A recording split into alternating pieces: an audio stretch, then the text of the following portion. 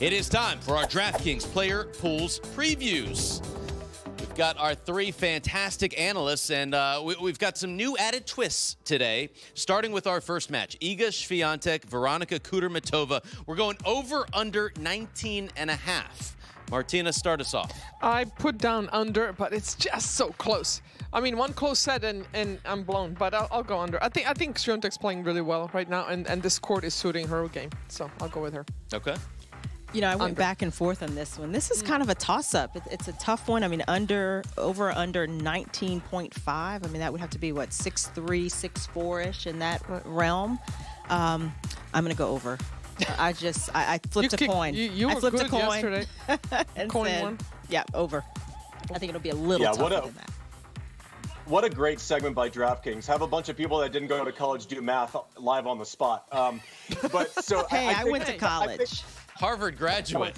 I was only, I was only speaking for myself. Uh, anyways, but I'll, I'll take the over. Pretty much, pretty much what we're asking here is: is there going to be one close set? Right? I guess, I guess I would bet on one close set. If somehow Kudermetova sneaks out a win or even a win in a set, uh, you know that kind of seals it. So I'll go with the over uh, because I believe in it, and also because Chanda is right every time she says something on air.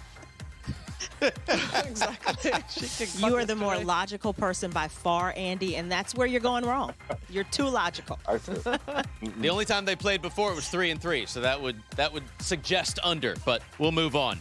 Uh, Jenson Brooksby, Sascha Zverev, Andy. I'll start with you on this one. Over under 20 and a half.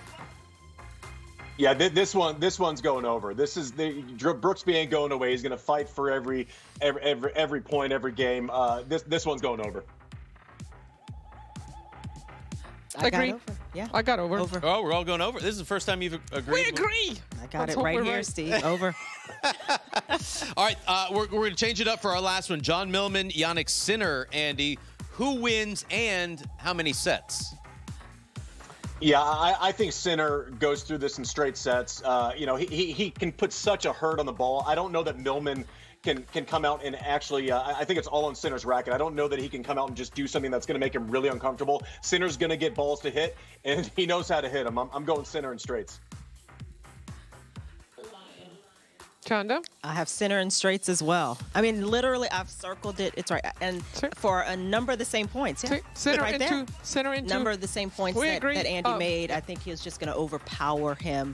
Um, you know, it could be could be a tough couple of sets, but I think it'll be two. It, it's Sunday. Church Chorus all agrees. uh, reminder, download any of the DraftKings apps for free. Use that code ACE when you sign up today.